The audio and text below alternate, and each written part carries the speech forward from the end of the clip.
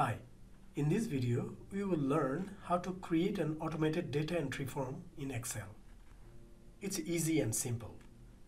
Even if you are a beginner in Excel, don't worry. At the end of the video, you'll be surprised to see that you have an automated data entry form in your hand. Just follow my step-by-step -step guide. By the way, you will also find all these steps written down on my website called excelmind.com where you can check out other Excel tutorials that you may like as well. The website address is given in the video description below. Let's see the demo file of data entry form so that you know what you're going to create today.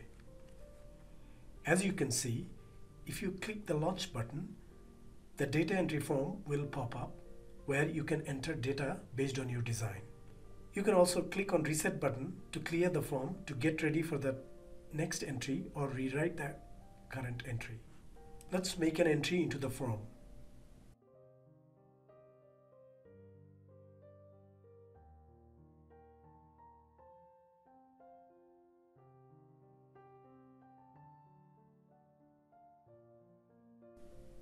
Click Save and it will ask for your permission to save. If you click on Yes, you see the second record is added into your database. You can also see the data in your database Excel sheet. Close the data entry form and click on the database tab. You now see the observations that you have just entered into your database. You now know what your goal is. Let's create this project from the scratch. Open your Excel and click File and Save As. In the dialog box, using Browse, define the path where you want to save your data file. Name your file as automated data entry form. Make sure that the save as type you selected is Excel macro enabled workbook. Without this, you won't be able to write macro. Click on save and see the file name that you selected on top. Your Excel should show developer tab.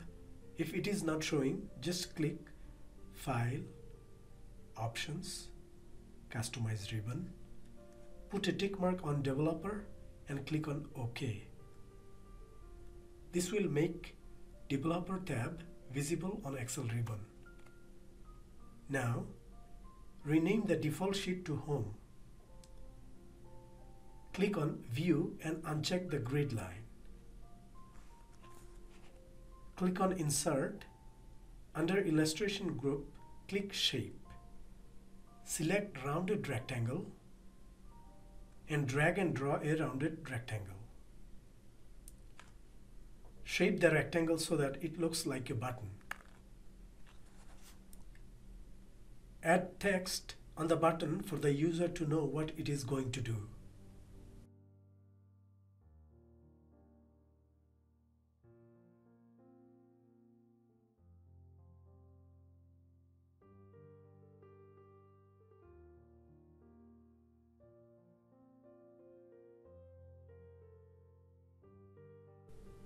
Add one more sheet and name it as database.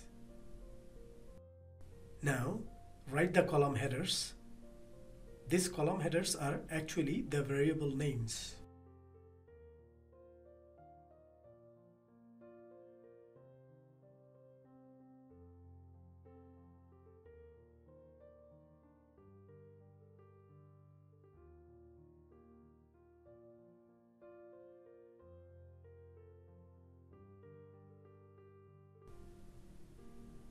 Resize the column headers so that entries are visible in each cell.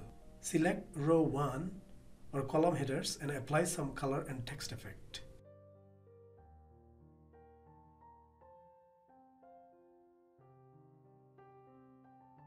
Select the range to show all borders.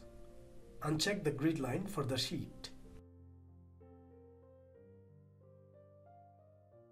Let's go to Developer tab and click on Visual Basic to open Microsoft Visual Basic for applications. Insert user form. Resize the form as to height 325 and width 578. Give a name as FRM form. This will be used to write the code. give caption as automated data entry form. Now, from the toolbox, insert a frame. Change the caption to enter details. Change border style to 1, border color to highlight. Insert another frame.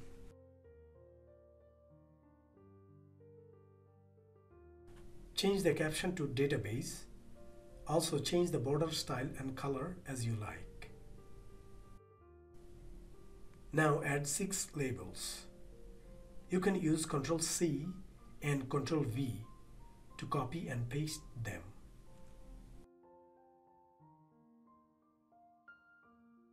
Change the captions for all based on the header name.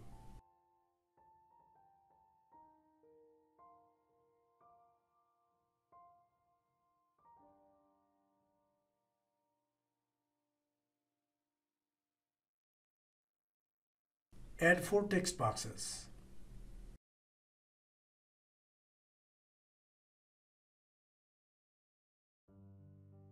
Add two radio buttons in front of gender and change captions to male and female. Add one combo box in front of department. Add two command buttons right below country text box. Change the caption to save and reset.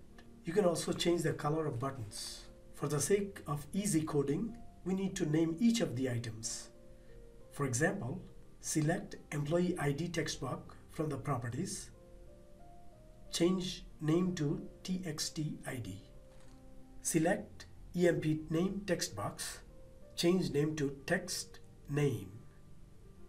Select male radio button. Change name to OPT male. Select female radio button, change name to OPT female. Select department combo box, change name to CMB department.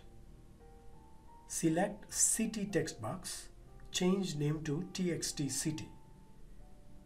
Select country text box, change name to TXT country. Select Command Save, change name to CMD Save, and accelerator as S.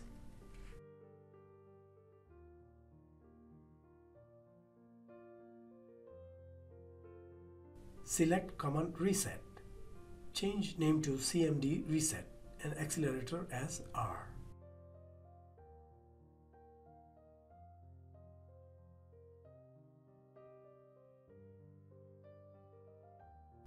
Insert a list box in the database frame. Change the name to LST database.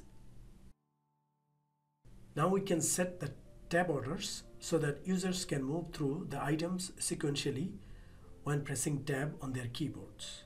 To do so, we select EMP text box first and assign tab index as 1 from the property. You can do the rest according to your preferred order.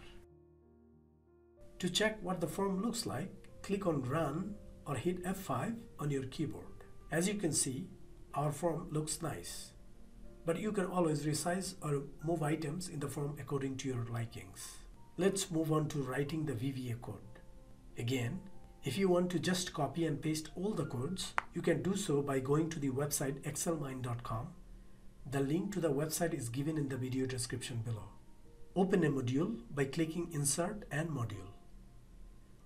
To reset the form controls and initialize the form, write sub reset. Declare a variable called iRow as long. To save last row into the variable, write COUNTA function inside. If you have two entries, it's going to return 2, but row is 3, wherein first row is the header. To initialize the form, we're going to clear all the values first we clear the combo box first and then assign values to the combo box. You can assign any value you like. Now, initialize the list box. Remember, we have 9 columns in our database. We also assign the width of each of the 9 columns.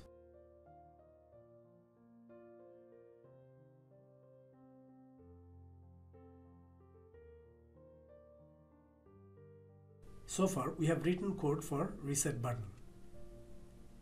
Let's write some more codes for save button. For that, we will again create subroutine such as sub submit. Declare a variable for our worksheet. To hold the last row, which is blank, we declare another variable as i row. Now assign the worksheet name to sh variable. Now assign last blank row to i row variable.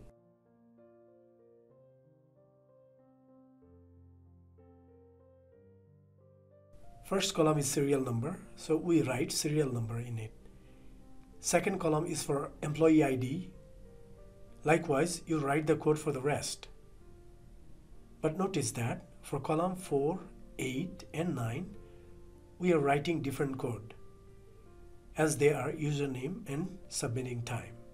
The last subroutine is for the form.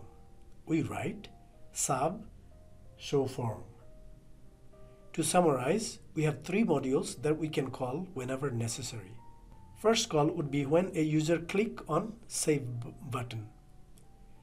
That means we need to write something inside save button. Let's open the form and double click on save button. Now declare a variable which is a message box. We are going to supply information in the message and ask user if they want to save the record or not. If they click yes, it's going to call the module that we wrote previously. If they click no, it's going to exit the subroutine. Now copy all the code and paste in the reset button. We like to edit little bit where necessary. We need to write another private subroutine for form initialization. Now save everything and click debug and compile to see if there is any error. Looks like there is no error. Click on the Excel icon at the corner. From the Home tab, right-click on Launch button and assign the macro named Show Form. Let's launch the form. As you can see, you have a nice data entry form. Let's enter a record and see whether it saves the entry the way you want it. So, first entry is made. Let's make some more entries.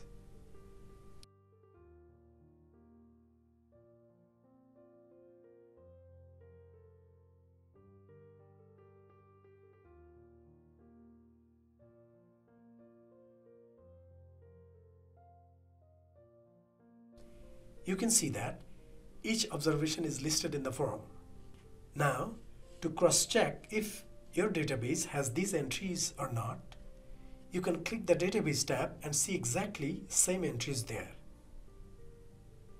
In future videos, I can show how you can add delete and edit buttons in the form to manipulate your existing database.